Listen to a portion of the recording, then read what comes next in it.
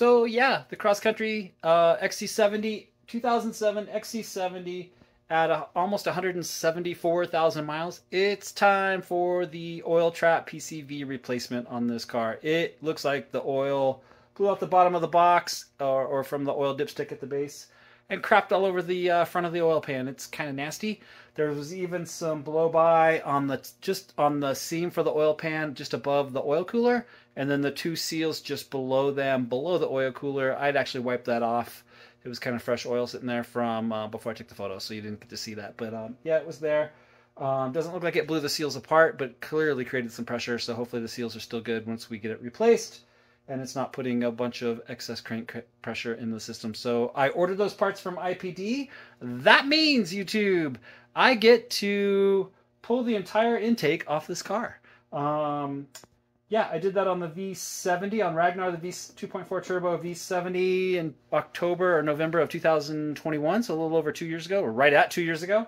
And um, uh, this car is basically the same thing, so it's not going to be too much harder now I know how to do it. Uh, but that gives me some more content to create for you guys. I'd created a uh, oil trapped video on the V70, kind of like with three or four tips of how I did it. Now we'll do a video uh, coming up on how we actually did this. I'm um, going to change the entire system. I'm going to start pulling parts off of here tonight because IPD is sending me the Volvo OEM. I also ordered for this car the Phenolic uh, throttle body spacer. It just keeps heat coming from the block through the intake manifold in underneath to the throttle body itself and just helps prolong their life uh, from the excess heat coming off the engine itself.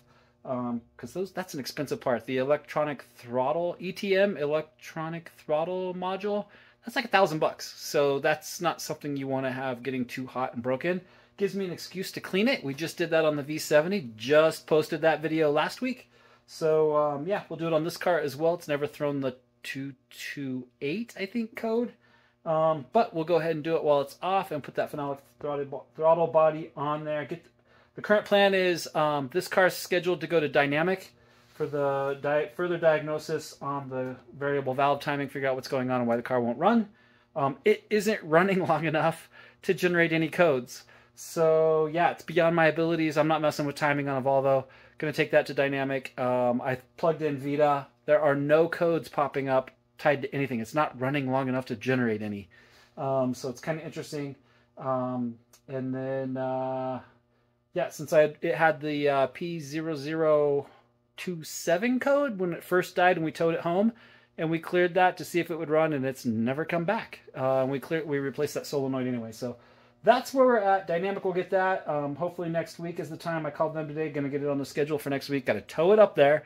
But before I send it, I'm going to replace this uh, PCV oil trap system. So going to start pulling parts tonight. And that'll be on another video series. And we'll get this thing to Dynamic for their repairs. Follow up and uh, stay tuned. We'll get this thing back on the road. Well, we're way underway for Operation XC70. Take a lot of parts off. I do not remember loosening this up at all. But when I loosened up the uh, uh, charge air pipe over the engine pipe, um, that came out on its own. Like I didn't even have to pull up on it. I was actually trying to disconnect it over here and it came off the back. I didn't do that. That was never tight. That was really interesting. I don't even know that it was in. Um, that's kind of bizarre.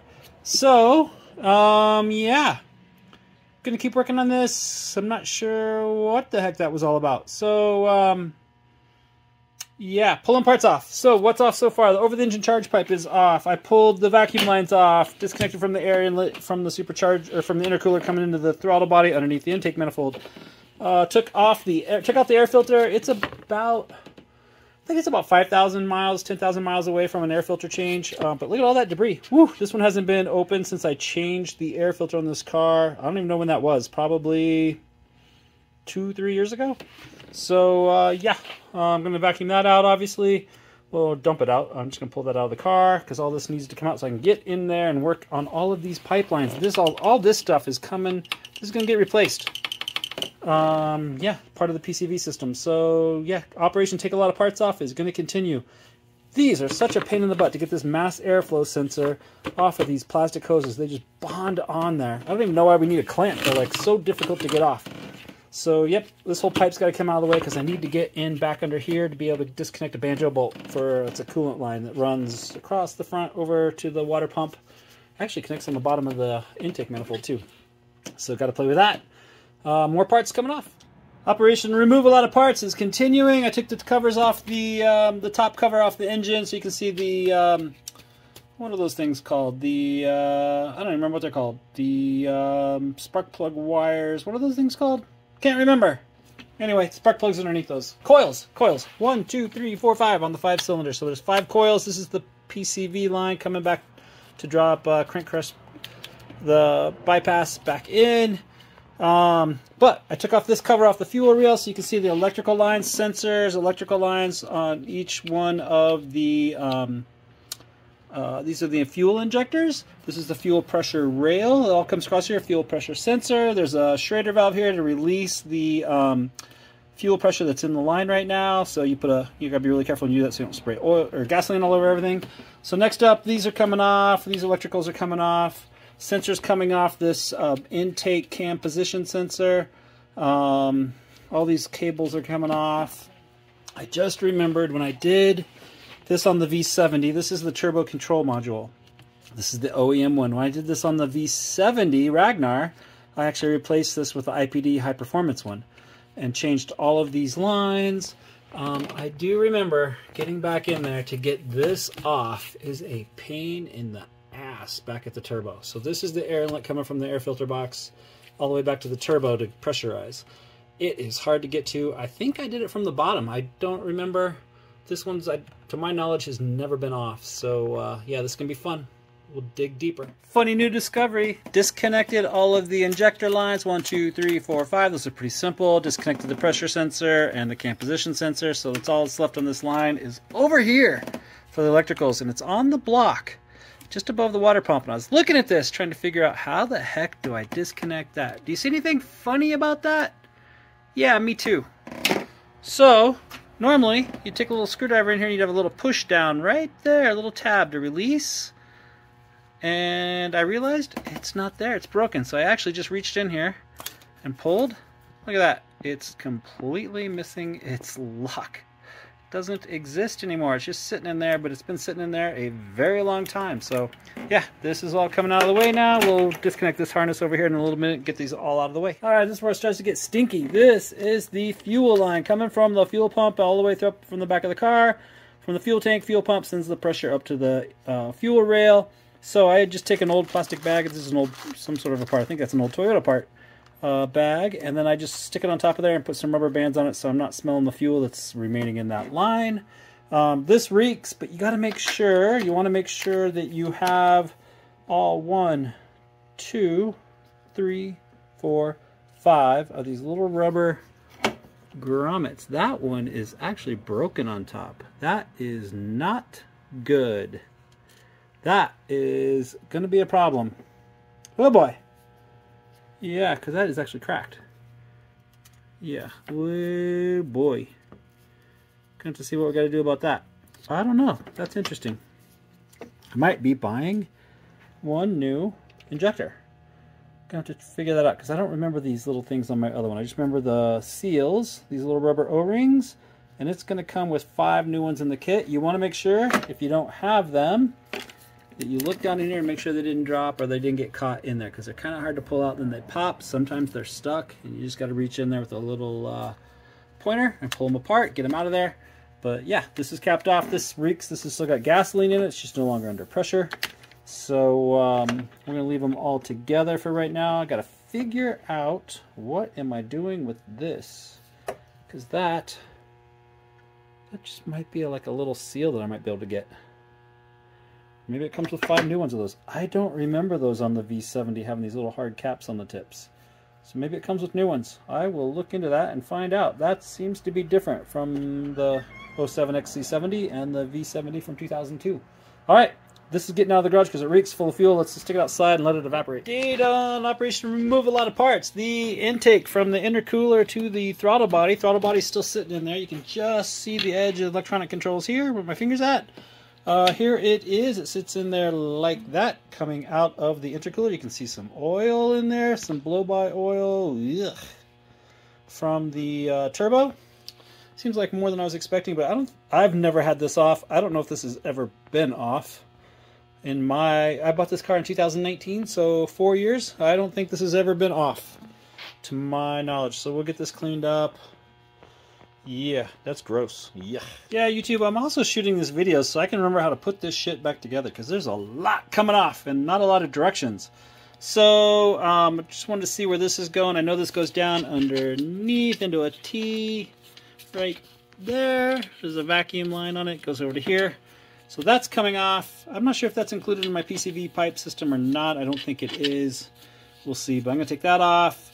Um, I do need to um, drop some coolant out of here um, because there is a line. This line back here has coolant coming around the back. There's there's a couple places where we have coolant. We have a takeoff line coming off the thermostat housing on the bottom right there, and it comes up and mounts upside down and backwards in a banjo bolt right here. God, that's hard to get to.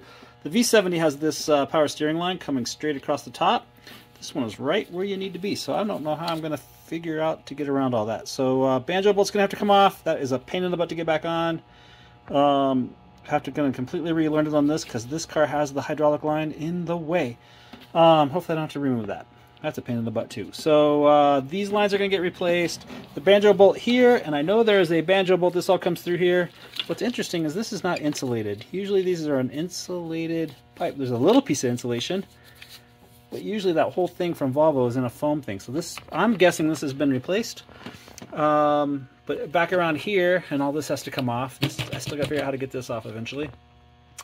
Um, there's another banjo bolt back there that's got to come off. So I know when I remove that banjo bolt, coolant comes out of the top of the block. So got to, I'm just going to drain it down. Last time I made a mess when I did that, so we're going to drain it first. Well, that was a gusher. This car has this thing when you reach up in there on the bottom of the radiator. Let's pull that away so you can see it. Got that? Yeah, it's like a little finger thing, but you can't even get to it with fingers, even when you take the covers off, because it's way up here, and you can't really get to it, can't get a finger in there. So I used some needle nose, flat needle nose, just gently did it because it is plastic, and it's just this guy with two, can you see that? Is it going to focus? Let's see if I can get you to focus. There it is.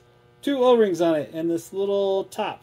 So I ended up draining the entire thing. Going to replace all the coolant now because I am not confident I'm going to get that in there correctly with uh, fluid running out and trying to do it fast. So uh, yeah, we're going to do it with no coolant and then we'll replace all new coolant. I was honestly hoping that I could take the throttle body off after I remove the intake manifold, but I can't get to this guy. Actually, I could leave that connected and just I can't even get into the bolt spacing because of this line. I'm going to take off the throttle body first, upside down and backwards. Yep, there it is, on my fingers. Four bolts, they should be 10s, that's what they are on the V70. Hopefully they are the same on this one. We will pull this baby off. Operation remove even more parts. Took the flange shroud out. This car's even easier to get out than the V70 was. I don't know what caused me so much problem on the V70, but it had to be like pivoted and come in at an angle, and then I screwed up and had to pop the uh, radiator coolant hose. This one came out super easy, two 8 millimeters up top, bam, straight out the top. Piece of cake. Now I can get in here with a lot more arm movement and get this throttle body off. Piece of cake. All right, there's the four bolts, the big, long, black ones. That uh, They're 8 millimeters that hold in the throttle body upside down backwards. I'm getting really good at that, going upside down backwards and not switching my racket, my ratchet. But Remember the V70 threw a P0228 throttle body correlation code? And I cleaned it all up thinking that's what it was. Look how freaking dirty this thing is.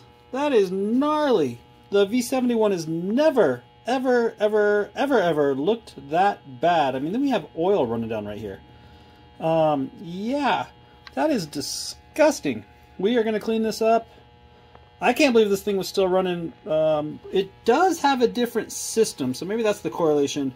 Um, on the V70, there are two sensors. One was the intake air temperature, and one was the mass air pressure sensor, side by side. And on this car, see if I can find it. Getting around, I'll light it up, go backwards. Yes, you see where the air intake, ugh, that is disgusting disgusting. That's where it's coming out of the intercooler, just above it, right there, those wires. It has one connector right there, and I think it does it all. I think it does the uh, intake air temperature and mass air pressure. Does it right there, coming out of the um, intercooler, instead of getting all fouled up down here in the line, does it on top, right there. So maybe that's why it was better. I don't know. Yeah, sorry about the uh, confusion there. Upside down, backwards, twisting around, making you vomit. Yeah, it's a uh, it's a virtual reality experience here. So that's a lot coming off. Now I should be able to get underneath there and be able to get back here and get to banjo bolt because that is off. That's going to get cleaned up before it ever goes back in. That's that is absolutely disgusting. Voila! Pretty much one can of throttle body cleaner later. And the inside, man, that stuff is hard to get off. Takes lots of doses of uh, the throttle body cleaner, and then as soon as it evaporates, it is re-solidified carbon, and it is, it's a pain in the ass, to be quite honest. But that is so much better. Um, yeah, we'll clean out the outside of it. I'll get this thing all cleaned up. It'll look almost new. It'll start to look like the $1,000 piece of equipment that it is, because without it, none of this can happen. None of it. Well, it might not happen anyway because it wasn't running before I took it off. All right, so my 10 inch extension with a 10 millimeter to get to the troublesome manif intake manifold bolt is just, if you can see the silver going through, come up here, come across the top. See the silver? There's the bolt. So it's just a little bit off square. It's harder on this car. The spacing isn't the same, and the um, alternator seems bigger. On my V70, I could get in there direct, and it was pretty much a straight shot. So I might try it with a little knuckle in there and see if that helps out on that angle. Um, but I can get it on there. I just don't know if I'm going to strip that bolt. Even more parts are off the Volvo XC70. Look at that. The manifold came off. That inside one, that little bolt just stays. You see it down there by the thermostat? Right here. It doesn't have to come all the way out because we have a little groove in the bottom here. This one also doesn't have to come all the way out. This one right here, but I did take it out. It sits on the bottom. Uh, so yeah, so we'll get this all cleaned up and put back together. Um, I don't know what the hell's going on with this thing. Look at this. This comes down to here. This isn't even on tight. Um, it's on with zip ties. Literally freaking zip ties. I don't know. I'm. This has definitely been replaced. Or it's been off and put back on and lost some straps. But this is uh, not clogged. Ooh. Ooh. Ooh, can we get that to focus in there? Do you see goop? That looks nasty. So that one goes from the box. Look at look at all the leakage on the box. It is absolutely disgusting. This I can slide that on and off like that. And this was literally sitting up here on the PCV line coming back to the um, oil trap. Was literally just a zip tie. It popped right off in my hands. So this is crap. I don't know what the heck this is. But you can see how much this thing has been blown by and leaking crud for quite a while. These are actually crimps. These are the professional crimp ones. So this part might be original. Um, but um, I don't know what this is. I don't know who would zip tie this. That's fucking pathetic. So anyway, we're going to keep going and start taking stuff off. Banjo bolt is there. Thing is a pain in the butt. It was a 17 millimeter and all I could get to it was the opened end of a wrench. It is so tight sitting on the bottom of the manifold in this space. So uh, yeah, not easy to get to. Gasket, um, on these you just cut it, and on the new one you just trim it, so you can just pop it down there and it'll sit against there like a fork. Um, so yeah, this is going to get done. We'll look in there, we'll get all this cleaned up, pull some more gunky parts off. And I just noticed another freaking zip tie. Two of them put together to make one connection. This is what a fucking mess. These are original, these are like dealer clampers with zip ties. What the heck? I'm pretty sure all of this is going to be all coming together with one of these on it. I, what the heck? This, to me, is different because mine was always insulated in rubber. Like this entire thing was covered in rubber. So I don't know why just this tube. I wonder if it got broken and they just replaced this plus that with zip ties. That might be original. That's gross. See my blue rag stopper down there. This is so gross. Before I start pulling all this uh, oil trap off and all this debris starts falling down, that oil, that little blue rag is stuffed in where the oil dipstick goes. So the shaft, the little shaft sits up here. You run the stick down through the shaft. It goes in there, and it's supposed to have two O-rings in the bottom. It only had one. The other one was kind of pretty much melted to the block there. I was able to scrape it out with a pick, pull it apart. It was pretty much disintegrated, gone. So yeah, I'm putting that in there before I pull all the. This is all coming apart, and this is going to drop stuff all over the place, and I don't want it down in the clean oil that I just changed last night. Maybe I should have waited. All right, YouTube, I'm calling it quits. I've cleaned this up down in there. So most of what that is is my. I'm guessing that this has been replaced because I snapped this black line and it is not completely full of carbon. If this was original, it would have been almost completely blocked. Um, this has been replaced. That's that's my guess is this is replaced. What happened, I think, here is the box was a Volvo. The oil trap box was Volvo. Um, and all these seals were just old, old and gross and nasty. My guess is they replaced this, the line that came up, the one with the zip ties. Uh, two of them was zip ties. This one has zip ties too, if I remember right. I think they replaced um, some of them left the box um, because the what happens here is the seals go bad on the back of the box. So it is it is not leaking sludge. There's no sludge like that in the engine. What's happening is the seals are going bad and it's supposed to the oil trap and vapors separate. The oil's supposed to drain back in in two different places back into the crank or back into the block and go down into the pan. And then it's going to get any gunk's going to get filtered out. Um, so what's happening here is those seals have gone bad on the back of the oil trap and it's leaked oil and vapor. Um, also, this one was down here on the bottom of the dipstick. It was totally cooked. So what's starting to happen is it's leaking oils, residues, and then the road is picking up silt from the road and it's just creating this gunk. And then more oil residue, more gunk, more oil residue, more silt, more gunk. Um, in here, though, these were, this wasn't completely clogged.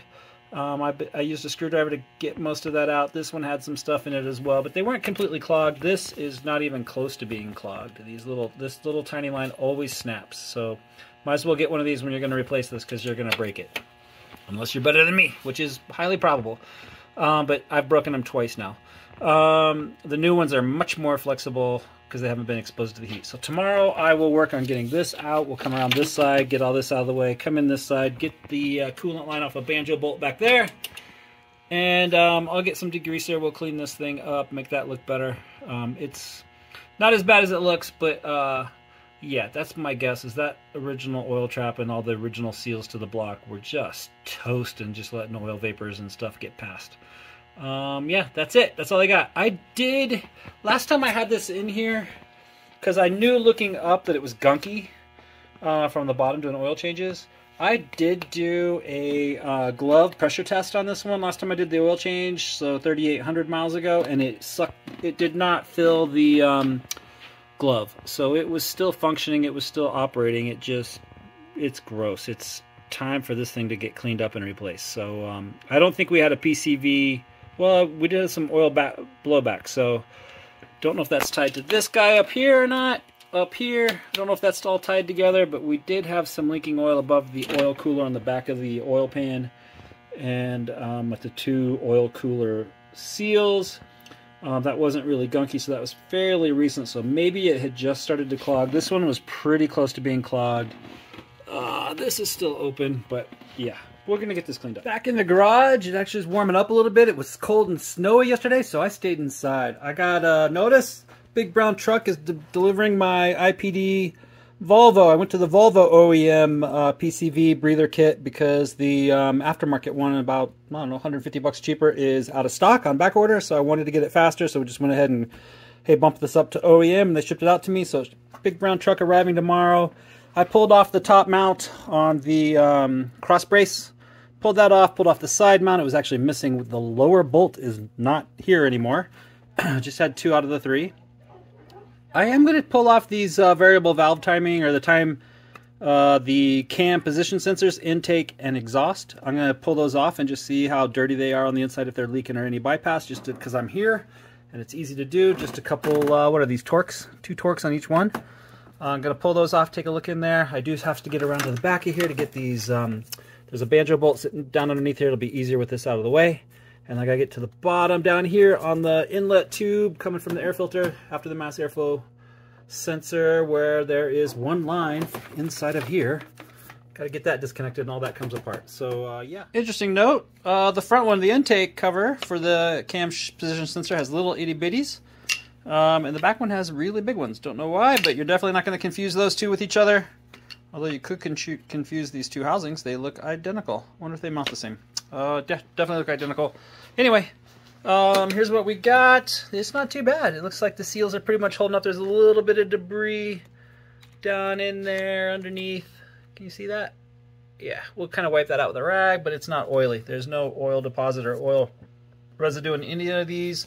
I'm going to look online, because remember with the, um, over with, it was possible when that variable valve timing is going out on the exhaust side, that it skips one or two teeth. And I'm curious if I look at these two camshafts to see if I can tell that those are not in alignment. I don't know that I can.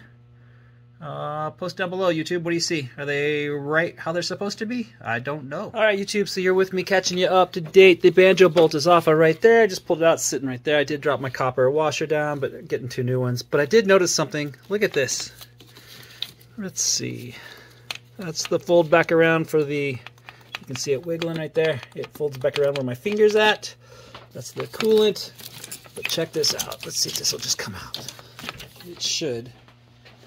Shouldn't, but it is. But I can tell you because I already peeked in there and saw what was going on. I'm blown away by this thing. Once again, just completely blown away. How is this thing running and passing emissions? Alright, what I'm looking for is I got this caught This banjo bolt is caught on the line. All right, hang on. Two hands to get that out because the banjo bolt just hooked a little, um, this little sensor line right there. So that thing had just looped around it as it was coming out. But here's what I was pointing at. Do you see any evidence that there has been a clamp on that for years? We've owned this car since July of 2019. It leaked a little coolant as it came out. There's coolant in these uh, banjo lines. Um, since July 2019, actually, coolant in this line. I think it's coming back around to here. Yeah, coolant in the banjo line. We've owned that car since 2019, July 2019. So that's four years it's been running with no clamps. This goes back to the inlet tube just in front of the turbo. We didn't have one here. We didn't have one there it's a mess. Or not there. It was uh came down to it was this line coming across the top and goes into the top of the breather box. It didn't have one. This had leaked all over the place. I i i'm at a loss. I'm at a complete loss. How long ago this was done and why it wasn't done correctly. This is uh completely all right youtube post down below. I'm trying to figure out this damn line. I know we got coolant. I still gotta get that hose off. There's one more piece to get off. That bit of hose, I just cut it because I couldn't get access to it with a small screwdriver. So I know we got coolant here at the thermostat housing. This is usually hot coolant coming off the top of the block, going back to the radiator to cool down. Over here, we have coolant coming back down there on that cop, that cop, bronze colored, copper colored, whatever that is, bronze. It's coming out, comes back, goes into the bottom of the engine on the back side back there below, near the turbo. So, do we have, which way does coolant flow through this damn system? Um, I know it's coming around this banjo bolt up, up by the edge of the manifold. So is it flowing hot across here, hot through here, hot all the way back through this banjo bolt and entering the block on the top to circulate quickly and come back through? Or is it flowing cool side where the coolant comes in and flows back? I think it's probably hot my guess is hot, so it keeps things moving. Why does it need... Why does it need to put hot on the... Why does it need to put hot on the manifold? Is it just to keep this thing from crudding up so the oil, any oily residues that get caught in here flow through, fall into the trap box, and as they the vapors are continuing through here, we just keep them warm? Because this is this is putting engine gases back into the air inlet tube before the turbo to run it back through to the intake. So that's how it's recirculating it back around. It's pulling this around to the box, comes off the top of the box. Why is there coolant in here?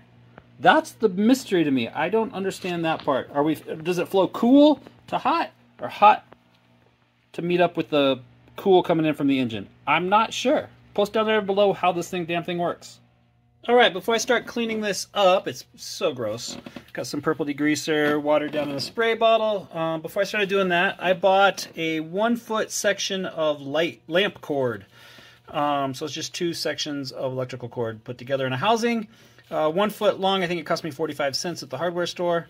Um, it should reach in here. This is on the. This is a junction for the bottom of the oil trap, so oil and the gunk can work its way back into the into the block, and these typically get plugged.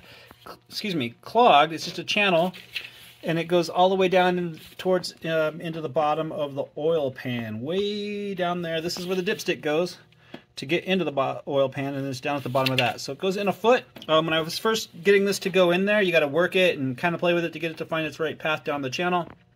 It wouldn't make it. Kept hitting um, black solid residue like you saw that was clogging these up typically. Um, but now it's been pulling out oil. I'm going to pull it out so you see what's going on live. Because it does have clean oil in it. Um, it's still kind of gunky. It's still pulling out some debris, darkening it up, but for the most part, that is just new oil. So that is good. It's making its way all the way in there, almost an entire foot. So it should be down towards the bottom, pushing that through, and it should be a clear channel again once it starts running. All right, Operation Remove a lot of parts and Operation Clean Shit Up are complete. Look how much better that is. It wasn't necessary. 100% not going to change any of the performance, but you heard me talking about the zip ties and the missing clamps and whoever did this last. I don't want to be that guy. So I cleaned this up, try to find it better than I, or try to leave it better than I found it. This one makes that really easy because that was absolutely disgusting.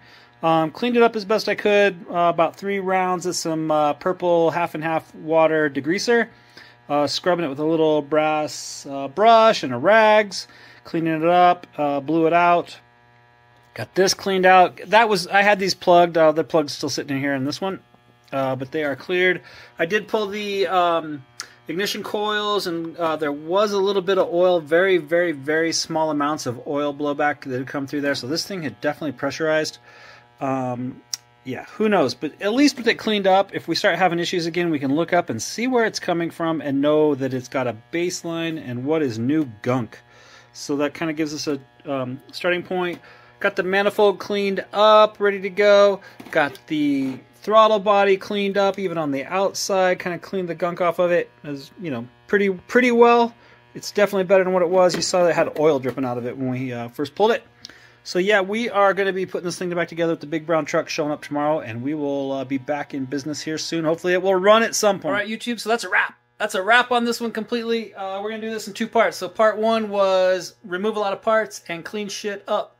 Operation 2 is put it all back together. So, uh, yeah, that'll follow separately, hopefully. Who knows if it's going to run after all this. It still has an appointment next Friday, uh, one week from tomorrow, at Dynamic in Longmont to uh, figure out if the variable valve timing thing is bad or not. So, there you are.